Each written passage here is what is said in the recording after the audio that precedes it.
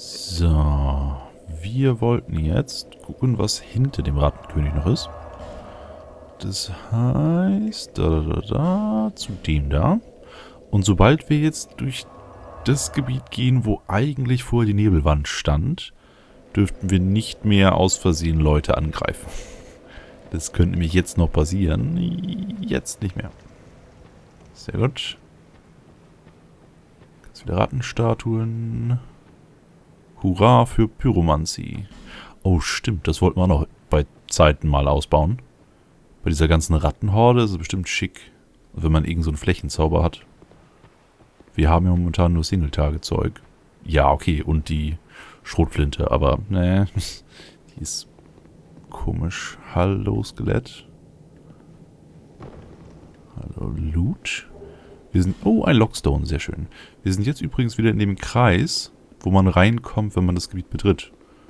Man kommt dann von da. Tänzelt den hier einmal rum, kämpft entweder gegen andere Spieler oder Ratten und geht dann da weiter. So, und wir müssen jetzt hier auf verschiedene Särge springen. Zack. Hm, hier würde ich sagen. Oh, okay, okay. Dann da. Und vielleicht hätte ich vorher die Seelen ausgeben sollen. Da. Da. Haben wir den Ring an? Warte mal. Equipment. Crescent Red, Red Ding weg. Fallschadenring an. Nur für den Fall, dass ich daneben springe und damit etwas Glück dadurch überlebe. Weil das sieht auch schon unangenehm aus. Das ist unser nächster Sprung, würde ich sagen. Da in den mittleren Bereich. Ja. Oh, oh, da unten ist ein Glitzer-Echsen-Ding. Okay, gucken wir mal. Hat geklappt. Wie kriege ich das Glitzer-Echsen-Ding jetzt am besten? Das kann ich nicht von hier oben aus sehen. Da geht's nicht weiter. Da hinten ist Loot. Aber ich glaube, wenn wir jetzt schon direkt drüber langlaufen, könnte das schon aggron quasi und weglaufen.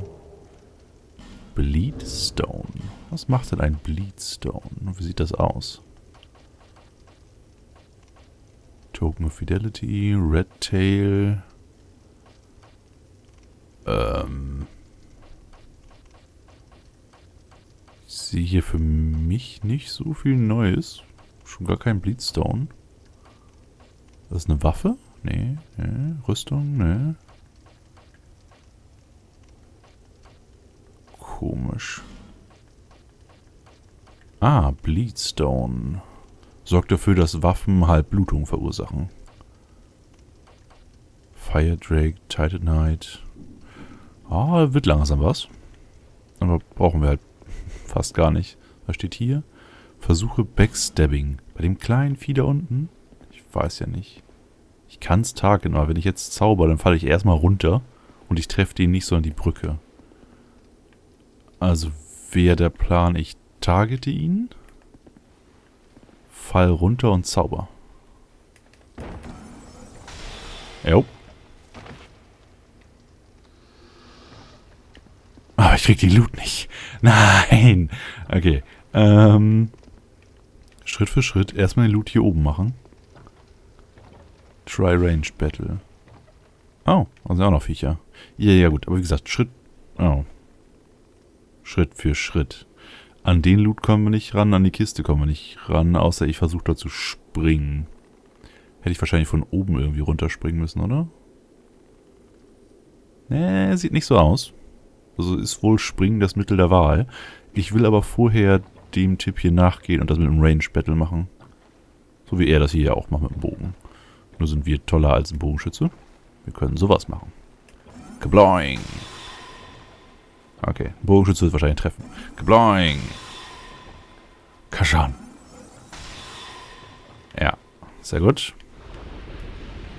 Da ist noch... Hey, nicht weggehen. Arschloch. Also nein, eigentlich sehr intelligentes, untotes Wesen. Aber so war das nicht geplant. Ah, jetzt kommst du... Oh. Moment mal. Warum kommen die jetzt alle raus? Äh, nicht gut. Kaputt. Äh, einer ist jetzt irgendwo unter uns. Ähm. Okay, wir müssen später nochmal runterfallen. Erstmal hätte ich gerne den Loot von hier. Wäre schade, wenn er verschwindet.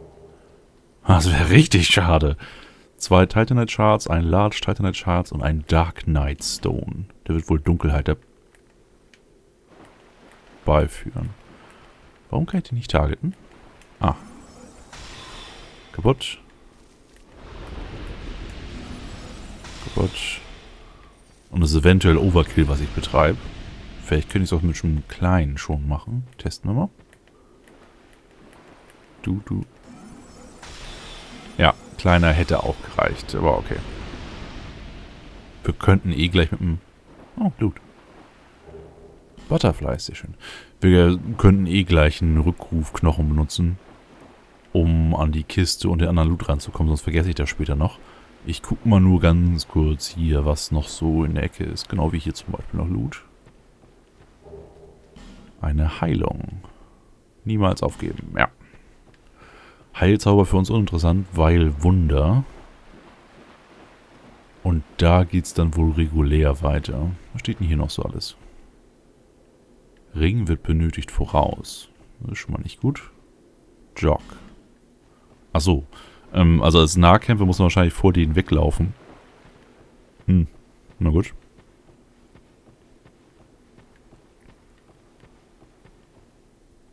Dieser Ort schon wieder. ja. Ähm. Ah, und es gibt auch keinen Weg wieder zurück.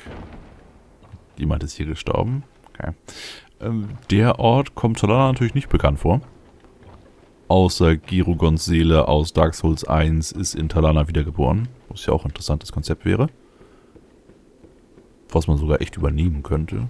Der tobt sich jetzt endlich mal aus und macht die Sachen, die er als Paladin nicht durfte. Und er hat Brüste. Hm. Ah ja, also Talana kennt das Gebiet nicht, aber wir dürften das wiedererkennen. Jedenfalls diejenigen unter euch, die Dark Souls 1 mit mir zu Ende gespielt haben. Und das war nervig. Obwohl es ging eigentlich. Es gab nervigere Gebiete. Lebensstein, ja. Ich hätte gern ein Leuchtfeuer hier unten, damit ich schnell nach Hause kann. Überall Leitern, überall Abzweigung. Was steht denn hier alles Gutes? Nicht aufgeben. ich kann es nicht ertragen. Ja, ja. Sind hier unten Viecher, die wir wegsnipern könnten? Ne, ich glaube nicht. Kommt man denn daran? Tidespot, ja. Tidespots finden wir immer wieder. Das sind einfach nur Stellen, wo man sich verkeilen kann. Oder wo dicke Spieler nicht durchkommen. so der Text zumindest. Dann taucht eine Nachricht auf. Open. Token of Spite. Das sind, glaube ich, die Dinger, die man bekommt, wenn man im PvP angreift. Genau. Also, was wir bisher gemacht haben, ist, wir haben anderen Spielern geholfen indem wir den weißen Speckstein benutzt haben. Wir wurden herbeigerufen, haben denen geholfen, Boss zu töten, dann bekommen wir die Fidelity-Steine. Ähm, dann haben wir auch andere Spieler besiegt und wurden von anderen Spielern besiegt, aber nur in diesem Red, Red Covenant. Da bekommt man diese Red Tails für. Das hier ist nochmal was anderes. Die Dinger bekommt man, wenn man wirklich einen Spieler aktiv angreift. Also nicht ein Gebiet verteidigt, wie das vom Rattenkönig, sondern wirklich irgendwo es geht in mehreren Gebieten. Irgendwo in den Spieler angreift. Vision von Gift.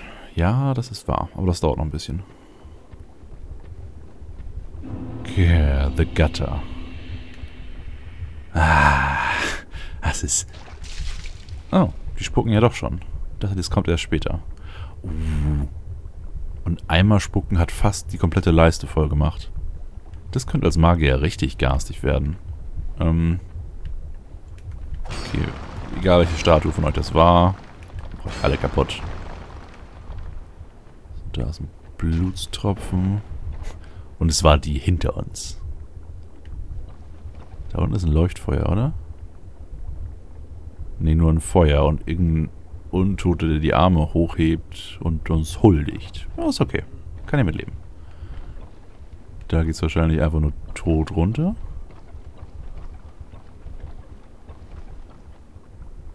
Was zur Hölle ist das? Ah, das ist eine von den alten Säulen.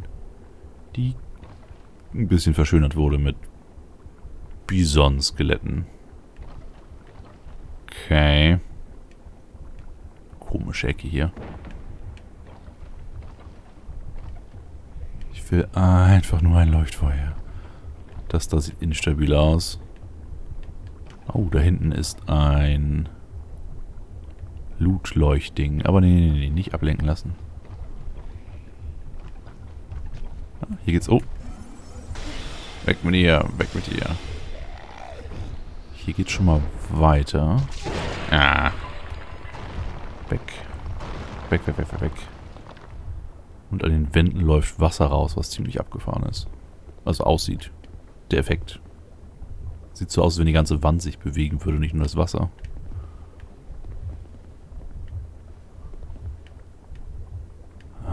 Schrift, Schrift. Was zum Teufel soll ich hier? Das ist ein... Da ist ein Leuchtfeuer. Aber ich komme hier nicht wieder hoch. Nee. Nicht schön.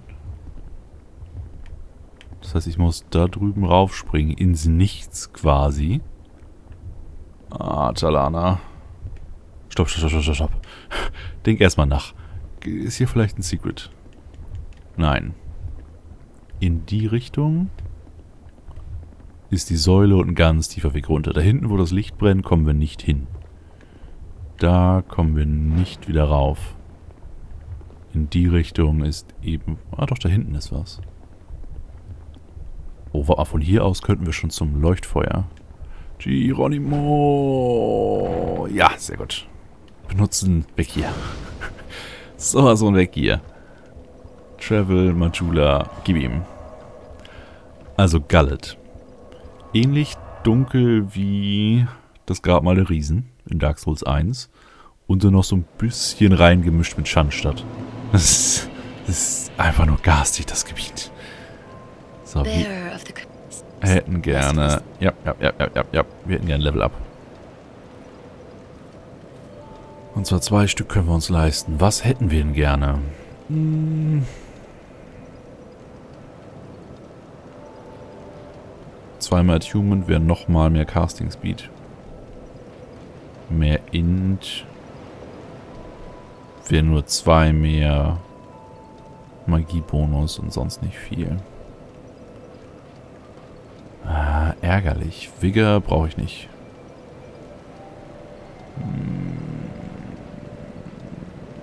Ja, komm. So. 2000 Seelen über. Hast du was Neues für uns? We call this place not too special you're... Oh, das hatten wir schon. Hm, nein, nein, nein.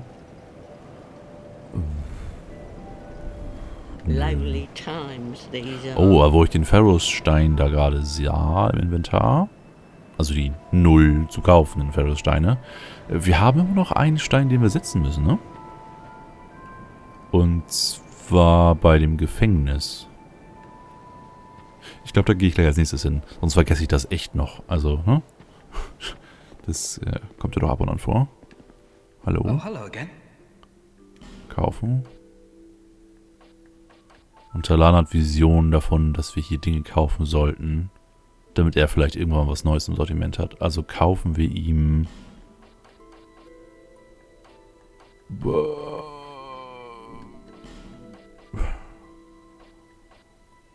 Das da ab.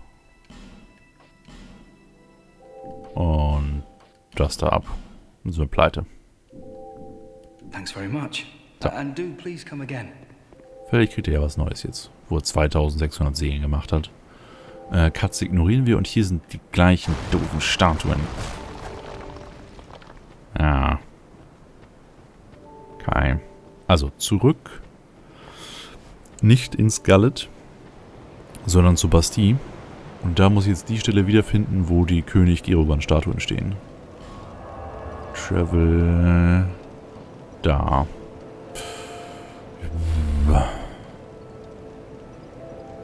Das hier war die Ecke, wo man alternativ zur Bastille kam. Also wir sind ja den Weg gegangen über den Greifen. Beim Pursuer. Also beim Verfolger, den Typen, der fliegen kann mit dem Schwert und mit Zylonenaugen. Das ist der Pursuer. Über seinen Greifen sind wir dann hierher gekommen. Oder sein Adler, was auch immer das ist. Das Fliegeviech. Sind wir auf dem normalen Wege, für mich zumindest, in die Bastille gekommen. Und das hier ist der andere Weg. Und ich glaube hier irgendwo beim anderen Weg. Hier über den Fahrstuhl, genau. Hier irgendwo waren die Statuen. Und da bei den Statuen war die Einbuchtung für die Lockstone und da müssen wir hin.